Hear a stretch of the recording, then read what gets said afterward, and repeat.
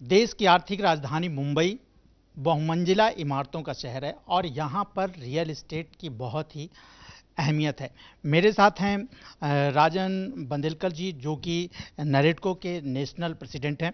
Sir, जो budget आया हुआ है, आप इसे किस तरह से देखते हैं और रियल इस्टेट को इस बजट से क्या मिला है और क्या उम्मीदें हैं? Real estate as a developer, मैं कहता हूँ कि बजट बहुत अच्छा है। लेकिन अगर आप मुझे कंज्यूमर के नज़रिए से पूछोगे तो बेशक कंज्यूमर बेचारा बहुत नाराज़ है। क्योंकि कंज्यूमर की काफ़ी अपेक्षा थी और हमने इवन डेवलपर ने या डेवलपर एसोसिएशन अगर आप माने नेरडको क्रडाई या बाकी जिसनों भी, हमने सिर्फ़ कंज्यूमर के लिए मांगा था। क्योंकि हमने देखा, बीते दो साल में, महाराष्ट्र गवर्नमेंट ने जब स्टैम्प ड्यूटी कम की प्रीमियम्स कम किए तो उसका बेनिफिट कंज्यूमर को डेवलपर ने पास ऑन किया और जैसे एंटरटेनमेंट में कहा जाता है फ़िल्म इंडस्ट्री में कहा जाता है कि एंटरटेनमेंट एंटरटेनमेंट एंटरटेनमेंट चाहिए। वैसे ही रियल इस्टेट में हम कहते हैं कि हमको सेल्स सेल्स सेल्स ही चाहिए। तो कंज्यूमर नाराज़ है। तो अगर कंज्यूमर नाराज़ है तो फिर रियल इस्टेट में आप लोगों की भी नाराज़गी वाजिब है और जब आपको कंज्यूमर ही नहीं मिलेगा तो फिर बिल्डिंग बनाने का क्या फ़ायदा फिर? नहीं नहीं। कंज्यूमर नहीं मिलेगा, ऐसा नहीं है। क्या होता है कि देखो, आज अगर आप देखोगे तो गए कम से कम मेरे ख्याल से सात से आठ साल में, हालाँकि सारे रॉ मटेरियल के दाम बढ़ गए लेबर के दाम बढ़ गए गवर्नमेंट के प्रीमियम्स बढ़ गए, फिर भी डेवलपर ने उसको हमेशा एब्जॉर्ब भी किया हुआ है और कंज्यूमर को प्राइस नहीं बढ़ी। ये आपको भी जानते हैं, सब लोग जानते हैं। लेकिन कंज्यूमर को क्या हुआ है कि आज इंडिया में जो रियल इस्टेट है ना बिकॉज़ ऑफ़ वेरियस रीजन्स अगर लैंड प्राइस बोलो वो ज़्यादा है टैक्सेस भी बहुत ज़्यादा है प्रीमियम्स बहुत ज़्यादा है कि ताकि हमने ये हर टाइम पे हर आ, मौके पर हमने ये मुद्दा उठाया हुआ कि आज अगर हम सौ रुपया की अगर मकान बेचते हैं तो उसमें पैंतीस मतलब तैंतीस से सैंतीस रुपया मतलब हर एक राज्य में अलग अलग है तो इतना पैसा सिर्फ़ सरकार को जाता है। तो आज कंज्यूमर को लगता है कि ये मकान महँगा हो गया बिल्डर पैसे कमा रहे हैं। हालाँकि बिल्डरों की हालत क्या है, वो सिर्फ़ बिल्डर ही बता सकता है, बाकी कोई समझ नहीं सकता है। इतना ही है कि हम अच्छे गाड़ियों में घूमते हैं, इसलिए लोगों को लगता है कि बेचारे अच्छे परिस्थिति में ऐसा नहीं होता है। एक सवाल सर कि मुंबई में बहुत सारे छोटे छोटे बिल्डर्स हैं और हमने देखा कि नरेडको ने उनको अपने साथ जोड़ा है। अगर मैं मुंबई की बात करूँ तो यहाँ पर इंफ्रास्ट्रक्चर बढ़ रहा है मेट्रो पूरे शहर को जो है वो कवर कर रही है। आप लोगों की क्या प्लानिंग है कि शहर के बाहर कुछ ऐसे मकान बनाए जाएँ ताकि जो मीडियम क्लास फैमिली है वो भी जो है घर ले सके क्योंकि सपना सबका मुंबई में घर का ज़रूर है। सी, मुंबई में घर लेना तो आज ये बेसिकली आम आदमी जो वो कहते हैं, आम आदमी के रीच के बाहर हो गया है, उसके काफ़ी कारण हैं। तो मैं वो कारणों में नहीं जाना चाहता हूँ, लेकिन अगर आप देखो कि मुंबई के सटे जितने भी शहर है, आप थाना बोलो, कल्याण बोलो, नवी मुंबई बोलो मीरा भाईंदर बोलो, वो सारे जगह पर लोगों का बसना हो गया, वो सिटीज़ बॉम्बे के एक एक सबर्फ से भी ज़्यादा सिटी हो गई अगर आप अगर थाना देखो तो Thana is giving run for life for Mumbai. अगर आप बोलो तो थाना में कोई चीज़ ऐसी नहीं है कि जो मुंबई में मिलती है। इस बजट के साथ ही आप लोग जो है कंज्यूमर को सस्ता घर किस तरह से देंगे? एक मेरा अंतिम सवाल।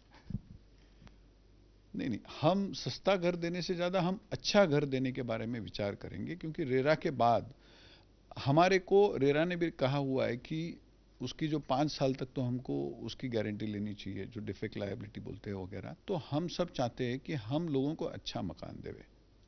मुंबई को इस बजट में कुछ मिला है? नहीं रियल इस्टेट को, अगर आप बोलो एज ए डेवलपर हमको इस बजट में बहुत कुछ मिला है, जो लोगों को दिखाई नहीं देता है, क्योंकि आज हमारे को सबसे ज़्यादा तकलीफ़ वाली काम कोई है तो परमिशन की है। जो आज आप बोलो कि डेवलपर को एक दफ़े वो लैंड खरीदता है लैंड खरीदने के बाद जब अप्रूवल को डालता है और उसको जब पूरी परमिशन मिलती है, मेरा कहने का मतलब एनवायरनमेंट बोलो सिविल एविएशन बोलो और बाकी परमिशंस जितनी भी है अगर बाजू में डिफेंस है तो डिफेंस की है तो इतनी सारी परमिशंस हमको लेनी पड़ती थी कि उसके अंदर, उसके तहत निर्मला सीतारामन जी ने और मोदी जी, जो अपना प्राइम मिनिस्टर सर है, उन्होंने कहा कि हम एक कमेटी बनाएँगे। और कमेटी इसके ऊपर देखेगी कि बाबा सच में हमारी क्या तकलीफ़ है, क्योंकि हम हर जगह चिल्ला रहे थे। See ease of doing business कहने के लिए था, वो मुंबई और दिल्ली में थोड़े हद तक हो रहा था, लेकिन डेवलपर या मकान, सिर्फ़ मुंबई और दिल्ली में नहीं बनते ना, सारे भारत में बनते, सारे स्टेट में बनते, सारे सिटीज़ में बनते तो हर सिटीज़ के, हर डेवलपर के हर प्रॉब्लम थी। अब इसके अंदर एक कमेटी हो जाएगी, और हम, आपके माध्यम से गवर्नमेंट को कहना चाहते हैं कि इस कमेटी में अच्छे लोगों को बिठाओ। अच्छे लोगों को मतलब जिसका नॉलेज है, जिसकी, इसके अंदर परख है और जो इसमें सचमुच पॉजिटिव सुझाव दे सकते हम कोई गलत चीज़ करना नहीं चाहते और रेरा के बाद कोई डेवलपर चाह कर भी गलत नहीं कर सकता है। सर, अगर आपको इस बजट से सहूलियत मिली है तो कंज्यूमर को भी तो मिलेगी ही। नहीं नहीं ये जो सहूलत थी ना, ये इनडायरेक्ट हो गया कि आज हमको जो एक अप्रूवल में कम से कम 12 से 18 महीने लगते थे। हालाँकि ऑन रिकॉर्ड ये कहा जाता है कि तुमको 60 दिन में अप्रूवल मिलना चाहिए। अगर मैं आपको एक सिंपल एक बात बताऊँ कि सिविल एविएशन अगर हम जाते हैं, हमको परमिशन तो मिलती है, या एनवायरमेंट हमको परमिशन मिलती है, लेकिन अगर आप देखो तो इनकी सारे परमिशन साइक्लोस्टाइल्ड होती है, उसमें एक हाथ दूसरा ही मुद्दा चेंज होता है।